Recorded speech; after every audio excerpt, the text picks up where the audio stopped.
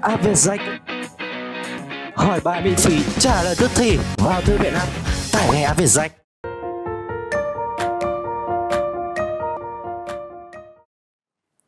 Xin chào các em học sinh thân mến, cô rất vui khi được gặp lại các em trong chương trình ngữ văn lớp 11.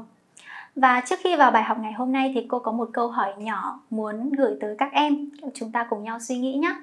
À, sau đây thì cô sẽ đưa ra một loạt các thông tin về một tác phẩm và bây giờ nhiệm vụ của các em đó là đoán xem tác phẩm đó là tác phẩm nào và của ai các em nhé.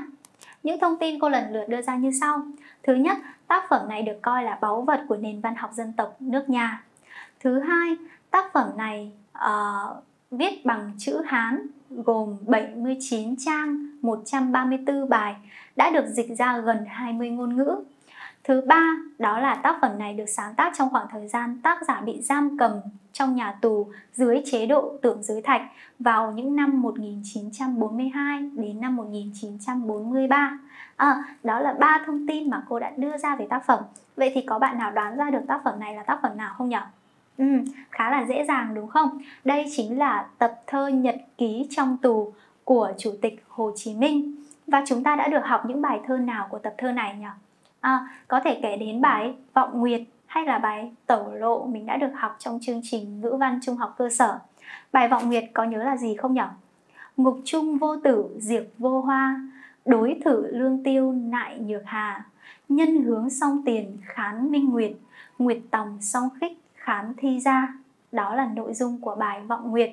Và à, ngày hôm nay thì cô cùng các em sẽ cùng nhau đi tìm hiểu một bài thơ nữa trong tập thơ Nhật ký trong tù và đây cũng là một trong những bài thơ tiêu biểu cho tinh thần lạc quan, ý chí vươn lên ở hoàn cảnh khắc nghiệt của tác giả Chủ tịch Hồ Chí Minh. Đó là bài Chiều tối, tên chữ Hán là Mộ. Chúng ta cùng nhau vào bài học ngày hôm nay, Chiều tối, tác giả Hồ Chí Minh.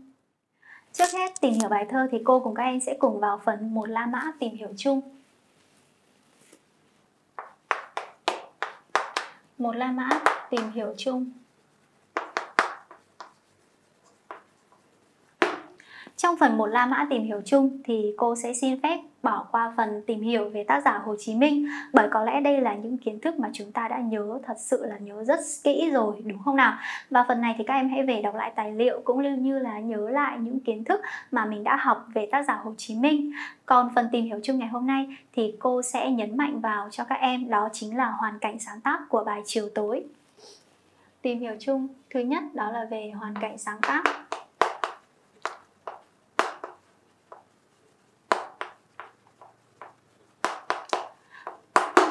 Bài thơ Chiều tối được viết trong khoảng thời gian 4 tháng đầu tiên khi bác Hồ bị bắt giam. Và trong 4 tháng này thì người đã viết một câu viết hai câu thơ đó là gì nhỉ? À, sống khác loài người vừa 4 tháng, tiều tụy còn hơn 10 năm trời. Và trong khoảng thời gian này vào mùa thu năm 1942 trên đường bị chuyển nhà lao từ Tĩnh Tây sang đến nhà lao Thiên Bảo thì à, đến một vùng sơn cước vào lúc chiều tối tác giả nhà thơ Chủ tịch Hồ Chí Minh đã khơi nguồn cảm xúc để viết nên bài thơ Chiều tối. Đó chính là phần hoàn cảnh sáng tác, chúng ta cùng ghi nhé. Mùa thu năm 1942. 1942 thì trên đường chuyển nhà lao trên đường chuyển nhà lao chuyển nhà lao từ đâu nhỉ từ từ tĩnh tây sang nhà lao thiên bảo. Dừng ở một miền sơn cước vào lúc chiều tối. Dừng ở một vùng sơn cước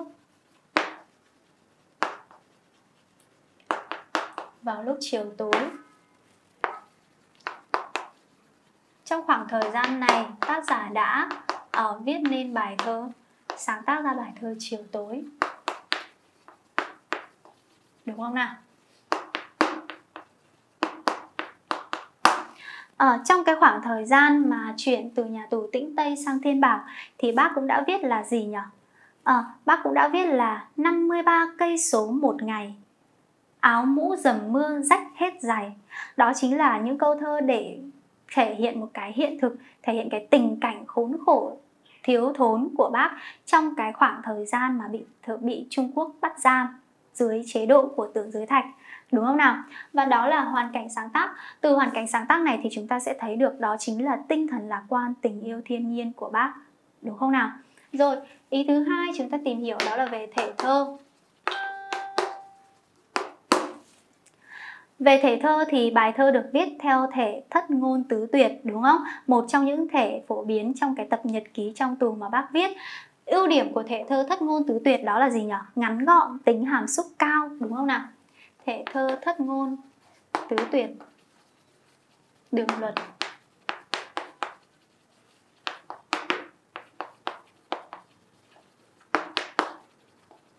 Rồi, khi tìm hiểu bài thơ này thì chúng ta sẽ tìm hiểu theo bố cục nào nhỉ? À, thường trong một bài thơ thất ngôn tứ tuyệt thì có bố cục đó là gì? Khai thừa chuyển hợp, đúng không? Thế nhưng trong bài thơ này thì cô cùng các em sẽ tìm hiểu theo bố cục hai phần.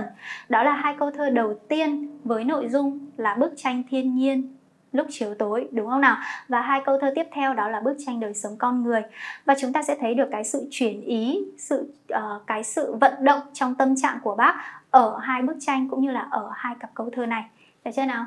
Ba nhỏ bố cục. Chúng ta sẽ tìm hiểu thứ nhất là hai câu thơ đầu. Hai câu thơ đầu. Nội dung của hai câu thơ đầu đó là bức tranh thiên nhiên, chiều tối. Bức tranh thiên nhiên, chiều tối.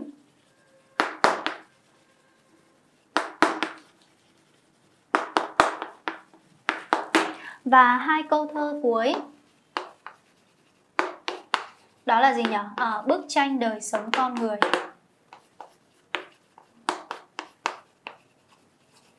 Bức tranh đời sống con người.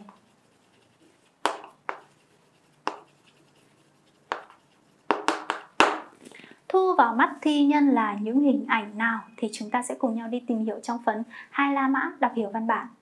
Bây giờ chúng ta sẽ cùng nhau chuyển sang phần hai la mã đọc hiểu văn bản.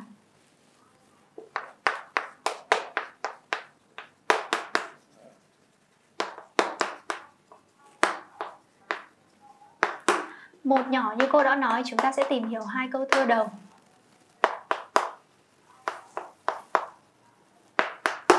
Nội dung của hai câu thơ đầu đó là bức tranh thiên nhiên. Và trước hết hãy chú ý cho cô xem uh, khoảng thời gian nghệ thuật ở đây là gì. Thời gian nghệ thuật. Ngay từ nhan đề bài thơ Tác giả đã đặt bài thơ, đã đặt nhan đề là gì nhỉ? À, mộ có nghĩa là chiều tối đúng không nào? Vậy thì cái nhan đề ấy đã đánh dấu khoảng thời gian nghệ thuật đó là khoảng thời gian chiều tối. Ờ, thời gian nghệ thuật là một trong những yếu tố tác động đến tâm trạng của nhân vật trữ tình và cũng là một trong những yếu tố để chúng ta xâm nhập cũng như là tìm hiểu phân tích về cái sự thay đổi trong diễn biến tâm trạng của nhân vật trữ tình chúng ta có khoảng thời gian nghệ thuật vào buổi sáng sớm. Thì nếu như khoảng thời gian nghệ thuật vào buổi sáng sớm thì sẽ thường gắn với những tâm trạng hồ hởi, hào hứng bắt đầu một ngày mới, đúng không nào? Khoảng thời gian nghệ thuật phổ biến nữa trong thơ ca trung đại đó là khoảng thời gian vào đêm khuya. Mình có bài thơ đó là gì? Đêm khuya văng vẳng trống canh dồn chơ cái hồng nhan với nước non, đúng không nào? Đó là khoảng thời gian đêm khuya trong bài thơ tự tỉnh của hồ xuân hương mà chúng ta đã được học ở chương trình kỳ 1 và từ khoảng thời gian ban đêm thì chúng ta sẽ gợi nhắc đến cái tâm trạng đó là sự cô đơn, cô độc lẻ loi của người chinh phụ, đúng không? Vậy thì khoảng thời gian chiều tối sẽ gợi ra tâm trạng gì? Chúng ta hãy cùng nhớ đến cho cô những câu thơ sau nhé. Bước tới đèo ngang, bóng xế tả, cỏ cây trên lá, đá trên hoa. Long khom dưới núi, tiều vài chú. Lác đác bên sông chợ mấy nhà nhớ nước đau lòng con quốc quốc thương nhà mỏi miệng cái ra ra dừng chân đứng lại trời non nước một mảnh tình riêng ta với ta. À, có thể nói những câu thơ này đã gợi nhắc khoảng thời gian chiều tối và đó là khoảng thời gian của sự cô đơn của nỗi nhớ nhà đúng không nào? Vậy thì bây giờ chúng ta hãy cùng nhau suy nghĩ xem khoảng thời gian nghệ thuật chiều tối nó sẽ gợi ra là nó sẽ có ảnh hưởng như thế nào đến tâm trạng của nhân vật trữ tình và cái ảnh hưởng đầu tiên mà cô muốn nói đến khoảng thời gian nghệ thuật chiều tối đó là ảnh hưởng đến gì nhỉ đến tâm thế đúng không nào đến tâm thế chiều tối gợi ở à, khi mà bác trên con đường chuyển từ nhà lao từ Tĩnh Tây sang Thiên Bảo thì bác đã viết là gì nhỉ? 53 cây số một ngày, áo mũ dầm mưa rách hết giày. Đó chính là cái tình cảnh khốn khổ, thiếu thốn, nhọc nhằn của bác trên con đường bị áp giải đúng không nào? Chân thì xiềng tay thì xích và đến chiều tối thì chắc chắn cái khoảng thời gian này sẽ khiến cho nhân vật khiến cho nhân vật trữ tình khiến cho bác rơi vào cái tình cảnh đó là gì nhỉ? À, mệt mỏi chán trường. Đúng không nào? Mệt mỏi chán trường. Khoảng thời gian chiều tối này còn có tác động đến điểm nhìn của nhân vật.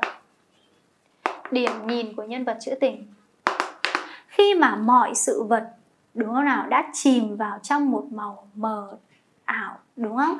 Thì như một cái nhu cầu thiết yếu, con người ta phải hướng mắt lên bầu trời, hướng mắt lên để thu vào những sự vật gần với bầu trời nhất và có thể nhìn thấy rõ ràng nhất, đúng không nào? Chính vì thế mà điểm nhìn của tác giả trong cái khoảng thời gian chiều tối, đó là điểm nhìn từ trên cao, đúng không nào? Từ trên cao. Vậy thì hướng điểm nhìn lên cao tác giả thu vào tầm mắt của mình những hình ảnh nào nhỉ? À, quyện điểu quy lâm tầm túc thụ. Cô vân mạn mạn độ thiên không. Thứ nhất đó là điểu đúng không nào? Thứ hai đó là gì? Vân đúng không? Bây giờ chúng ta sẽ đi tìm hiểu từng hình ảnh một. Thứ đầu tiên đó là hình ảnh cánh chim chiều. Hình ảnh cánh chim chiều. Quyện điệu đúng không nào? Cánh chim này làm sao nhỉ? Mỏi đúng không? Cánh chim chiều mỏi mệt đúng không nào? Chim mỏi quay trở lại rừng tìm trốn ngủ đúng không nào? Mỏi mệt. Và cái sự tương đồng của hình ảnh cánh chim này với người tù cách mạng đó là gì nhỉ? À, đó chính là cái sự mệt mỏi đúng không nào? Và cánh chim này gợi ra gì? Gợi ra không gian và thời gian. Cánh chim lạc lõng giữa bầu trời đúng không nào? Cánh chim mệt mỏi trong khoảng thời gian cuối ngày. Khoảng thời gian uh, khi mà con người ta đã làm sao nhỉ? Đã bắt đầu để chuẩn bị cho sự nghỉ ngơi đúng không nào? Vậy thì hình ảnh cánh chim chiều hình ảnh cánh chim chiều cũng là một hình ảnh quen thuộc trong thơ ca trung đại. Gợi sự mỏi mệt sự đó nó sẽ tương đồng với tâm thế tâm trạng của người tù đúng không nào? Và hình ảnh cánh chim còn gợi ra không gian, gợi ra không gian rợn ngời một cánh chim lạc lõng giữa buổi chiều. Đúng không nào? Rồi, tiếp theo chúng ta tìm hiểu cho cô. Đó là hình ảnh cô vân, hình ảnh tròn mây. Hình ảnh tròn mây.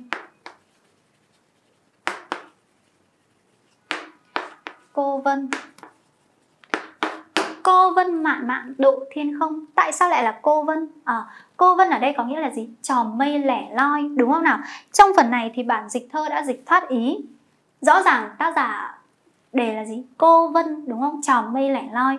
Thế nhưng trong bản dịch thơ thì người dịch chỉ dịch đó là gì nhỉ? Tròm mây lững lờ trôi giữa tầng không, đúng không nào? Ở đây đó là phần dịch chưa thoát ý. Tròm mây với tròm mây lẻ nọ, lẻ loi, đó là hai sắc thái khác nhau, đúng không nào? Và chắc chắn là cái ý của tác giả sẽ nhấn mạnh vào cái gì? Nhấn mạnh vào cái cô này, đúng không? Cái cô độc, cái lẻ loi, đúng không nào? Cô vân tròm mây lẻ loi gợi sự gợi sự cô đơn, cô độc. Và dường như càng cô đơn, cô độc hơn khi trò mây ấy lại làm sao? Lại mạn mạn độ thiên không, đúng không nào? Lững lờ trôi giữa tầng không. Trạng thái của trò mây đó là gì? Trạng thái của mây. Trạng thái của mây.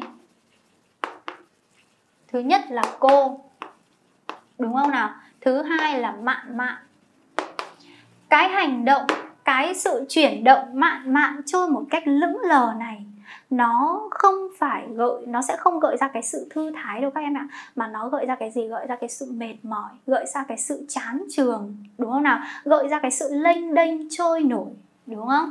Trạng thái của mây đó là cô là mạn mạn. Và từ những trạng thái này thì chúng ta thấy được đó là gì nhỉ à, ờ, hình ảnh trò mây trở nên làm sao nhỉ trở nên cô độc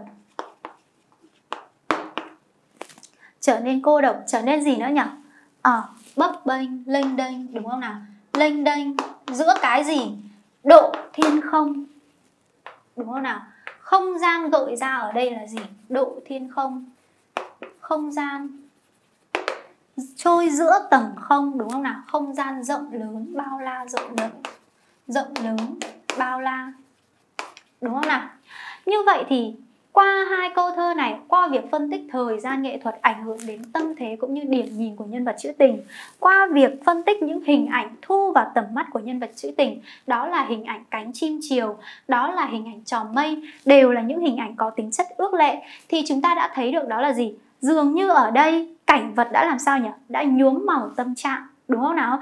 Tác giả Nguyễn Du đã viết là gì? Người buồn cảnh có vui đâu bao giờ và thực sự trong hai câu thơ này thì người buồn vá và cảnh cũng buồn đúng không nào? Trong hai câu thơ này, người buồn và cảnh cũng buồn. Như vậy ở đây chúng ta rút ra cho cô đó là việc tác giả sử dụng những hình ảnh ước lệ đúng không nào? Tác giả sử dụng những hình ảnh ước lệ có giá trị gợi cảm gợi cảm để thể hiện cái gì? Để thể hiện tâm trạng.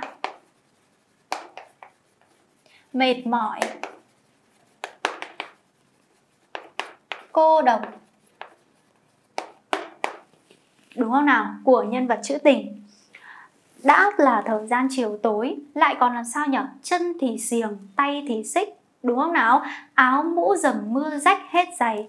Tất cả mọi sự thiếu thốn tất cả mọi sự khốn khổ đều tập trung vào người tù cách mạng khiến cho cái gì nhỉ? Ờ à, khiến cho cảnh vật cũng ngẫu nhiên trở nên làm sao? Trở nên đã nặng chịu một cái tâm trạng đúng không nào? Và nó hoàn toàn đúng với cái câu thơ của nhà thơ Nguyễn Du người buồn cảnh có vui đâu bao giờ đúng không nào? Đó là cái bút pháp tả cảnh ngụ tình mà tác giả sử dụng đúng không nào? Vậy thì ở hai câu thơ đầu tác giả đã miêu tả bức tranh thiên nhiên. Bức tranh bức tranh thiên nhiên này làm sao nhỉ? Ở kỳ vĩ đấy lớn lao đấy đúng không? Thế nhưng giữa không gian lớn lao đấy thì tác giả lại nhấn mạnh vào hai hình ảnh đó là hình ảnh cánh chim chiều và hình ảnh tròm mây lẻ loi. À, vậy thì đó chính là cái nghệ thuật ờ, như thế nào nhỉ?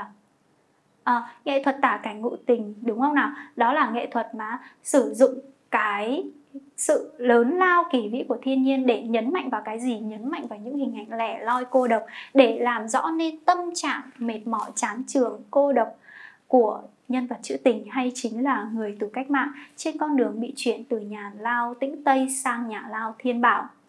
Và uh, một điểm đặc biệt trong bài chiều tối này đó là gì? Đó chính là sự chuyển ý một cách vô cùng hợp lý điều này sẽ được thể hiện khi chúng ta tìm hiểu hai câu thơ tiếp theo như vậy thì ở hai câu thơ đầu tiên chúng ta đã thấy được bức tranh thiên nhiên và thông qua bức tranh thiên nhiên này thì chúng ta thấy được cảm xúc cũng như là tâm trạng của bác. Đó là gì? Đó là tâm trạng mệt mỏi, chán chường, cô độc, đúng không nào? Đó còn là gì? Ở đó còn là cái ước mong khát vọng được trở về mái ấm, đúng không nào? Quyện điểu quy lâm tầm túc thụ, chim mỏi thì thì trở về rừng tìm trốn ngủ. Cái hành động trở về rừng của con chim cũng đại diện cho ước mơ của bác muốn trở về muốn trở về mái ấm muốn trở về quê hương đúng không nào? Và bên cạnh đó thì chúng ta còn thấy được đó là gì nhỉ? À, đó chính là tinh thần lạc quan của bác đúng không nào? Trong hoàn cảnh uh, bị áp giải chân tay thì xiềng xích rồi, đi 50 cây số một ngày, áo mũ dầm mưa rách hết giày, thì bác vẫn làm sao? Bác vẫn phóng tầm mắt của mình để cảm nhận vẻ đẹp của thiên nhiên, để cảm nhận những biến đổi của trạng thái cảnh vật, đúng không nào? Và điều đó thể hiện tình yêu thiên nhiên, sự mong muốn hòa hợp với thiên nhiên, cũng như là tinh thần lạc quan vượt vượt qua mọi khó khăn gian khổ của bác. Và cái tinh thần lạc quan ấy càng được thể hiện sâu sắc hơn trong hai câu thơ sau. Chúng ta cùng nhau vào tìm hiểu hai nhỏ hai câu thơ cuối nếu như hai câu thơ đầu tiên chúng ta thấy đó là sự xuất hiện của thiên nhiên, đúng không nào? Thiên nhiên khiến cho con người rợn ngợp, thiên nhiên mang nặng cái nỗi buồn của con người. Thì đến hai câu thơ sau chúng ta thấy xuất hiện trong đó đó là hình ảnh của ai nhỉ? À, sơn thôn thiếu nữ ma bao túc, bao túc ma hoàn lô dĩ hồng, đúng không nào? Đó là hình ảnh của con người và con người ấy đang làm sao? Đang lao động. Vậy thì bức tranh đời sống con người đã tác động vào cảm xúc cũng như tâm trạng của nhân vật trữ tình như thế nào thì chúng ta cùng nhau tìm hiểu nhé. Thứ nhất ở hai câu thơ này hãy nhắc lại cho cô về điểm nhìn. Nếu như ở hai câu thơ thứ nhất điểm nhìn đó là từ trên cao đúng không nào trên bầu trời thu vào tầm mắt đó là hình ảnh cánh chim chiều đó là hình ảnh cô vân mạn mạn, độ thiên không. Thì ở trong hai câu thơ cuối, điểm nhìn của tác giả đã chuyển xuống đâu? Chuyển xuống mặt đất, đúng không nào? Vậy thì hướng tầm mắt của mình xuống mặt đất, thu lại vào mắt người tù cách mạng đó là gì? Đó là hình ảnh của con người. Vậy thì chúng ta hãy cùng nhau đi tìm hiểu cái bức tranh lao động của con người.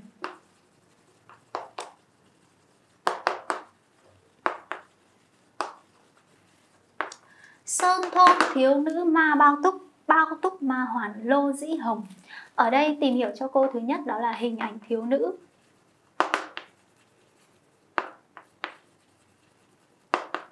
Có thể nói hình ảnh thiếu nữ này là hình ảnh tượng trưng cho cái gì nhỉ?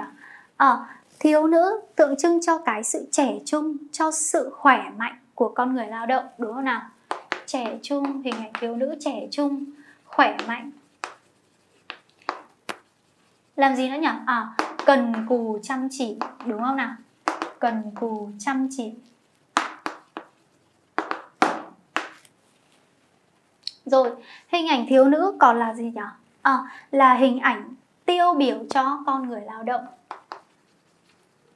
Hình ảnh đại diện cho con người lao động. Cho con người lao động.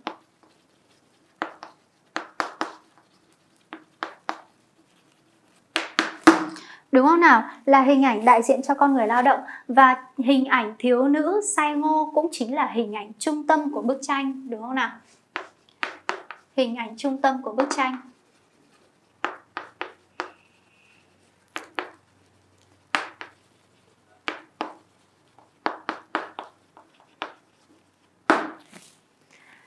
Được chưa nào? Và chính cái hình ảnh trung tâm này, chính cái hoạt động say ngô đúng không nào? Uh, sơn thôn thiếu nữ ma bao túc đúng không nào? Chính cái hoạt động say ngô này nó đã làm sao? Nó đã lấn áp cái mênh mông rợn ngợp của cảnh vật ở hai câu thơ đầu tiên. Lấn áp cái mênh mông rợn ngợp của thiên nhiên đúng không nào? Rợn ngợp của thiên nhiên. Trong hai câu thơ đầu tiên đúng không nào? Rồi vậy thì ở đây chúng ta thấy còn có một hoạt động, còn có một hình ảnh được hiện lên, đó là gì nhỉ? Bao túc ma hoàn lô dĩ hồng. Tìm hiểu cho cô hình ảnh. Hình ảnh lô dĩ hồng. Hình ảnh lò than rực hồng. Hình ảnh lò than hồng.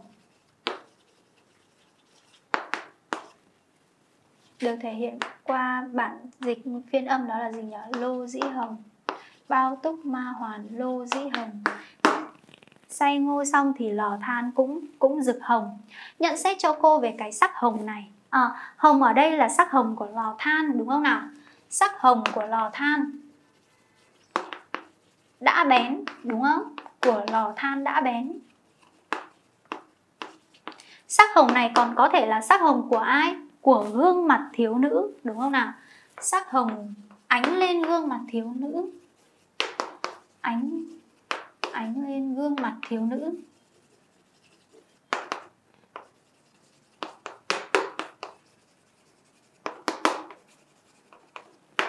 Sắc hồng này còn là sắc hồng của cái gì? Sắc hồng của chính tâm trạng, của chính cái lòng nhân ái trong trong lòng nhân vật trữ tình, đúng không nào? Sắc hồng của tâm trạng, của tâm trạng. Của trái tim và lòng nhân ái.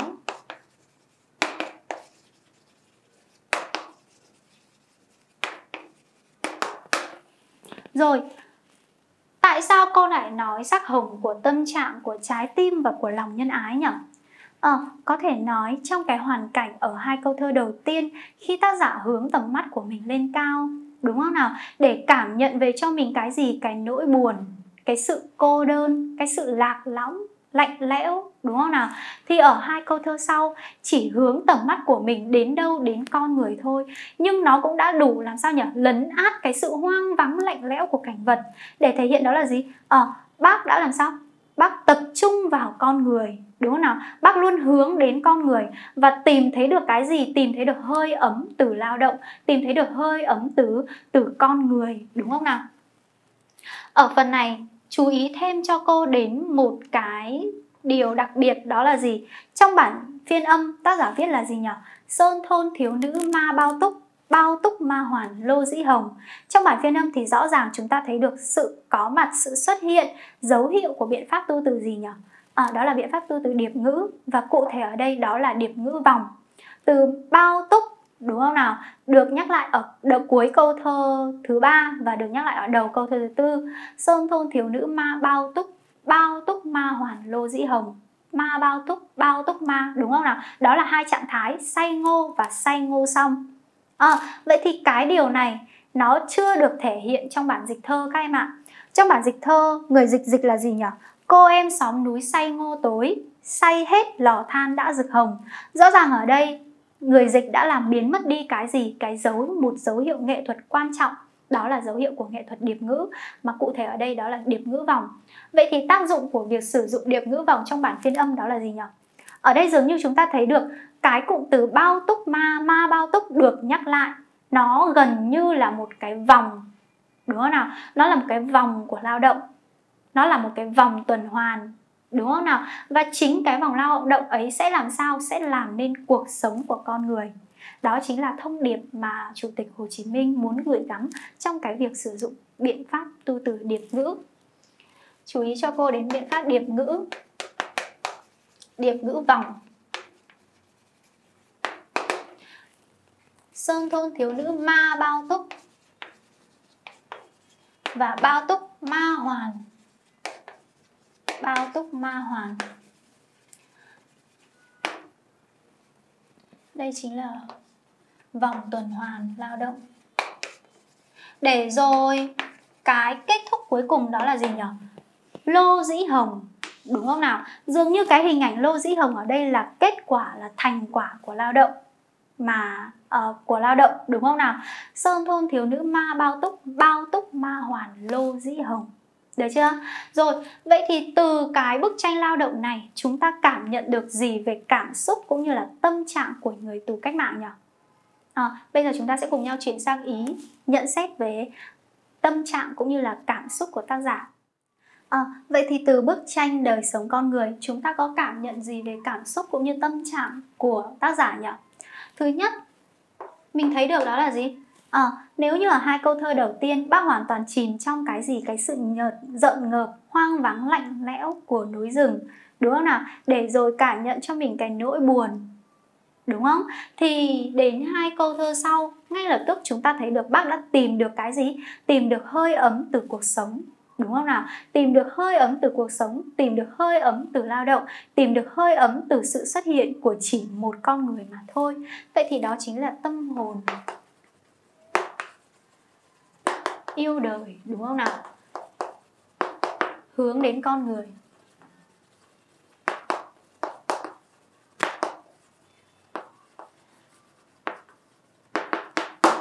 Trong tác phẩm lão hạc của nhà văn nam cao thì nam cao đã từng viết đại ý đó là gì nhỉ?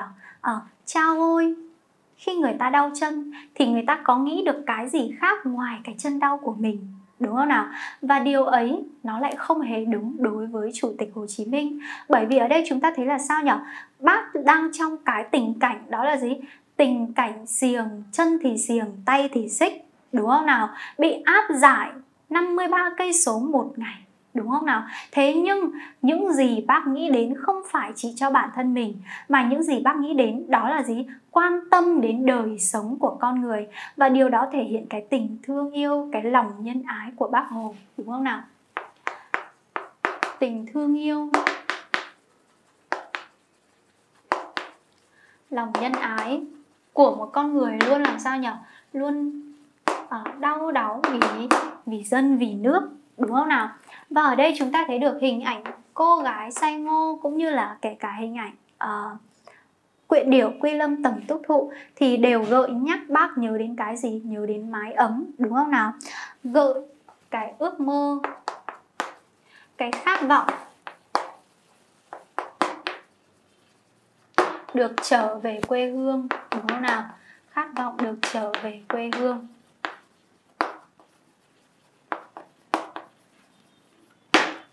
Đó chính là những cảm xúc những tâm trạng của bác khi mà khi mà chứng kiến khi mà nhìn thấy cái cảnh lao động đúng không nào? Dường như bác tìm thấy cái hơi ấm ở trong chính cuộc sống lao động và đó là điều mà khó ai có thể tìm thấy được đúng không nào? Rồi uh, vậy thì từ cả từ việc tìm hiểu hai câu thơ đầu cũng như là hai câu thơ sau thì các em hãy rút ra cho cô một ý đó chính là vẻ đẹp tâm hồn của bác vẻ đẹp tâm hồn.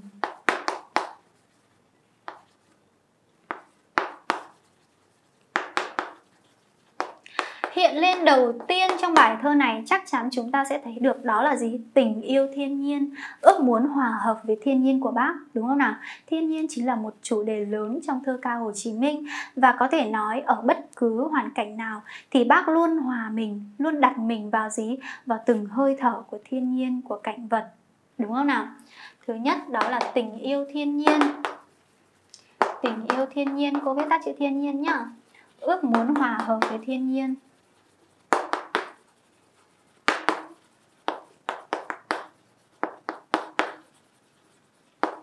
Ý thứ hai cô muốn nói đến đó là gì nhỉ à, đó chính là khi mà bác uh, trong hoàn cảnh bị xiềng xích nhưng bác vẫn nhớ về vẫn quan tâm đến đời sống của con người vẫn đau đáu một cái suy nghĩ về tình cảnh của những người dân uh, trong dân tộc Việt Nam đang trong cái giai đoạn mất nước lúc bấy giờ thì điều đó chính là biểu hiện cao nhất của cái gì các em nhỉ? Uh, đúng rồi đó chính là lòng vị tha đúng không nào? Biểu hiện cao nhất của lòng vị tha thương tình thương yêu và lòng nhân ái và lòng nhân ái của một người tù cách mạng. Đúng không nào? Bác quan tâm đến đời sống của của nhân dân và dường như lúc nào trong lòng bác cũng làm sao? Cũng hướng về đất nước, hướng về dân tộc. Và cái ý thứ ba cô muốn nói đến đó chính là gì? Chắc chắn rồi. Cũng là một trong những bài thơ tiêu biểu cho cái tinh thần lạc quan của bác. Đúng không nào? Cái thứ ba đó là tinh thần lạc quan ý chí vượt lên hoàn cảnh. Bác lấy cái tinh thần lạc quan này ở đâu? Bác lấy cái tinh thần lạc lạc quan này ở niềm tin của bác vào gì? Vào độc lập của dân tộc. Đúng không nào? Vào tương lai của dân tộc.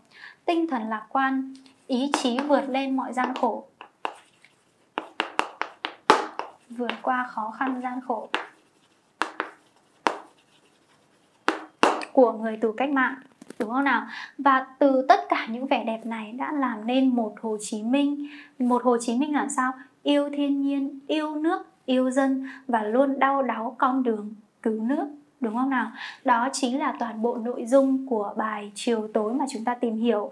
Bây giờ cô cùng các em sẽ cùng nhau đi điểm lại một vài nét về nội dung cũng như là nghệ thuật của bài trong phần ba la mã tổng kết văn bản. Trước hết thì cô sẽ cùng các em tổng kết về mặt nội dung.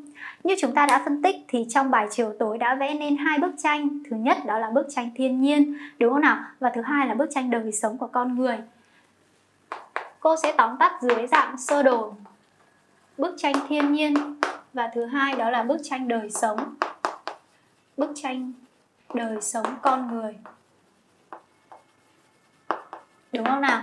Hai bức tranh này và nếu ở bức tranh thiên nhiên thì tác giả thể hiện được cái gì? Cái tình yêu thiên nhiên đúng không nào?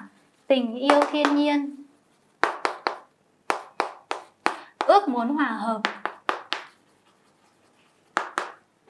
Hòa hợp với thiên nhiên đúng không nào? Chúng ta thấy được điều này trong tất cả những bài thơ mà chúng ta đã tìm hiểu của Chủ tịch Hồ Chí Minh. Từ bài ngắm trăng cho đến bài cảnh khuya cho đến bài uh, dằm tháng riêng hay là bài tẩu lộ, đúng không nào? Thì tất cả những bài đều thể hiện tình yêu thiên nhiên, ước muốn hòa hợp với thiên nhiên của bác. Còn trong bức tranh đời sống con người thì chúng ta thấy được đó chính là lòng yêu thương con người, lòng vị tha, lòng nhân ái, đúng không nào? Lòng yêu thương con người.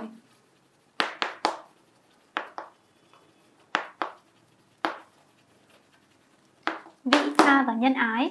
Và ở cả hai cái trạng thái này thì nó đều làm rõ lên một ý, đó chính là gì? Ý chí, nghị lực phi thường của người tù cách mạng, đúng không nào?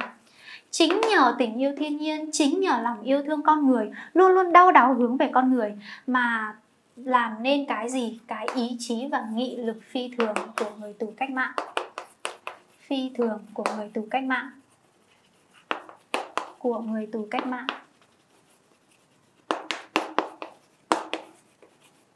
Đúng không nào? Tất cả làm nên đó chính là vẻ đẹp tâm hồn của chủ tịch hồ chí minh.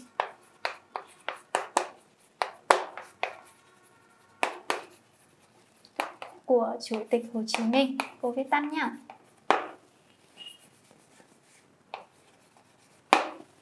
Rồi, đó là phần tổng kết về nội dung. Vậy thì phần tổng kết về nghệ thuật chúng ta cần phải nhớ những ý nào cho cô? Thì khi chúng ta tổng kết về nghệ thuật thì hãy nhớ cho cô nghệ thuật của bài chiều tối có sự kết hợp hài hòa giữa vẻ đẹp cổ điển và vẻ đẹp hiện đại. Vẻ đẹp cổ điển sẽ nằm ở chỗ đó là gì? Thể thơ thất ngôn tứ tuyệt với tính hàm xúc cao. Ngôn ngữ thơ, hình ảnh thơ mang nét đẹp cổ điển. Đó là hình ảnh cánh chim, đó là hình ảnh tròm mây. Đúng không nào? Và việc tác giả sử dụng cái nghệ thuật tả cảnh ngụ tình trong hai câu thơ đầu tiên, đúng không?